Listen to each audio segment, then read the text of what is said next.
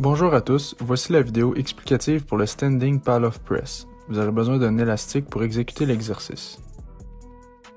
C'est un exercice d'isolation travaillant principalement les stabilisateurs du tronc. De même, c'est un exercice à contraction isométrique, ce qui signifie qu'il n'y a pas de mouvement et qu'il faut tenir une position.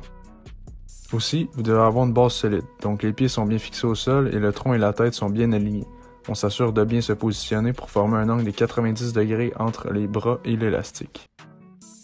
Pour ce qui est de l'exécution du mouvement, on s'assure avant tout d'être bien stable et de respecter les points abordés plus tôt dans la vidéo. Par la suite, on prend l'élastique et on s'éloigne afin de créer une tension dans l'élastique. Il faut avoir la sensation de vouloir faire une rotation vers le nœud de l'élastique. Cependant, l'objectif de l'exercice est de maintenir la position pendant le nombre de secondes indiquées dans le programme. Il ne faut pas oublier de faire les deux côtés.